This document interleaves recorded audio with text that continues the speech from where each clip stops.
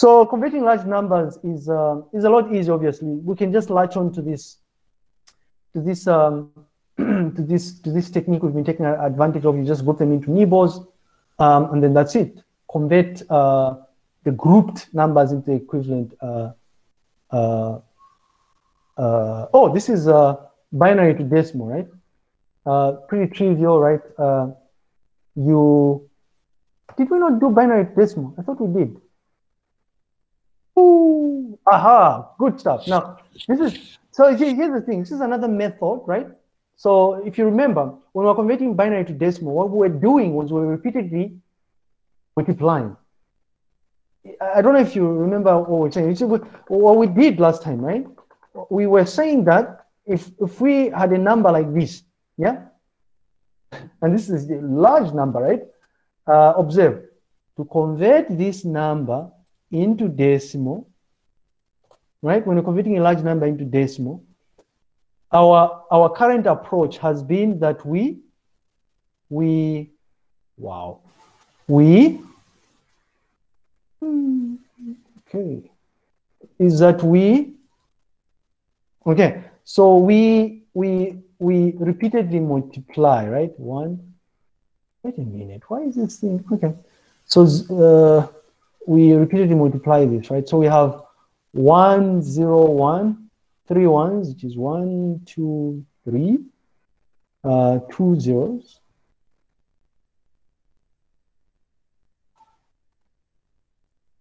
And then we have one, zero, one, zero. What we're saying, right? What we're saying is that uh, we we sorry about the noise. I don't know if I said this. They decided to have a pool party somewhere close to where we live, right? Celebrating happy birthday or something. I don't know. Um, whatever that means. But anyway, so for us to convert this to decimal, what we're saying is we have to repeatedly, uh, we, we repeatedly multiply this, right? Using the powers of uh, 2 here, is it? 2 to power, we have the powers of 2, it's 0. Now, I don't know how you'd write this, but it's 0, 1, 2. I guess we can drag this like Mr. Mwalimu has taught us in spreadsheet application. Ooh, we're going back in the opposite direction, I guess we can use formulas like he told us. So we will say, have you looked at formulas in uh, EDU 1010? 1020, Not yet.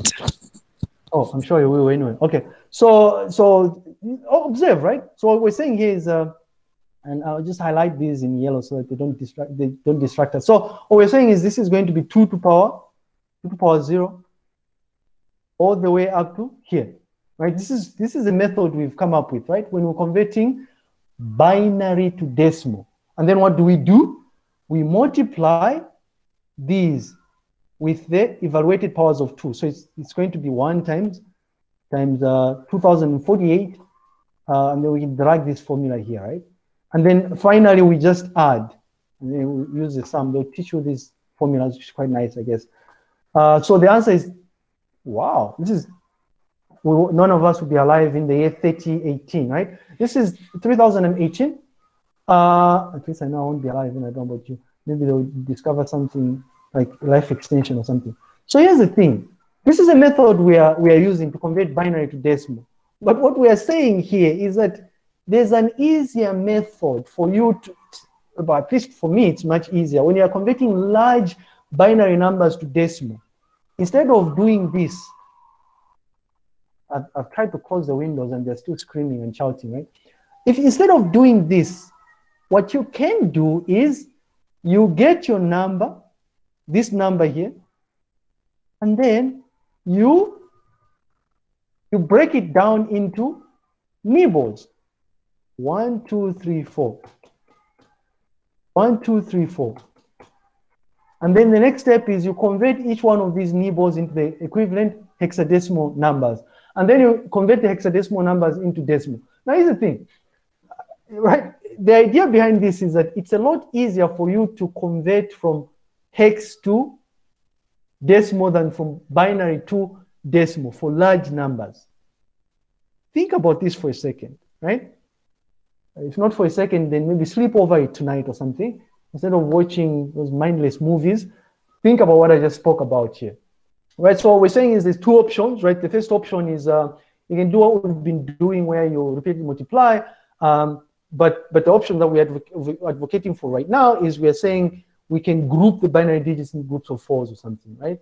Uh, so we group them into groups of fours and then we convert the groups of fours into um, the equivalent decimal and then we have, uh, and this is repetition, I guess, it's equivalent uh, uh, hexadecimal numbers and then um, and this is supposed to be decimal anyway. Uh, so you have your decimal number and then you convert it to, to uh, its equivalent hexadecimal number, right? So two-step process. You first of all convert the binary number into hex because it's a lot easier. You just break it up into groups of fours or nibbles, right? You have your hex number and then you get your hex number and you convert that hex number into decimal. How do you do this? Repeated multiplication by converting the symbols into their decimal equivalent and then multiplying them by their powers of 16. And in fact, at this stage, really, you could have multiplied them with powers of 16. Do you understand this? This is much easier. Yes, sir. Flip over this. Do a simple test, right? Try and see how long it's going to take you to convert a large binary number into decimal using this conventional method we introduced at the beginning.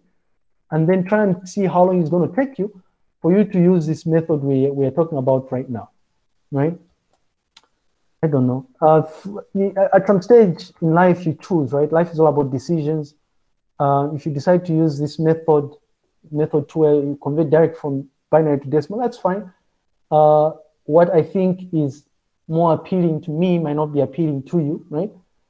Uh, but the only way you find out is if you experiment with these things, right? But don't experiment with stealing or any bad vice. All right, so this is what we're talking about here, right? Where you repeatedly multiply and then you get this now, the, the reason why you want to avoid this, right? The reason why you want to avoid this is because it is error prone. It's very easy for you to make a mistake when you're dealing with a lot of bits. Very easy. Uh, our eyes sometimes will make us see things that are not there. I hope you've realized this by now. All right. Um, and then obviously this is it. But take your pick, whatever works for you. Right.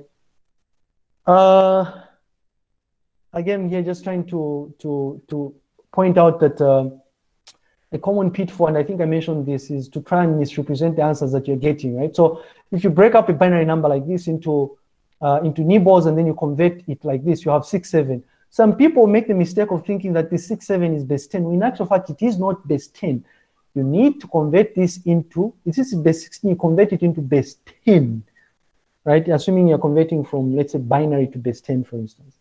It's very easy when your answer, the number you're dealing with, has uh, has symbols that are shared with uh, base 10.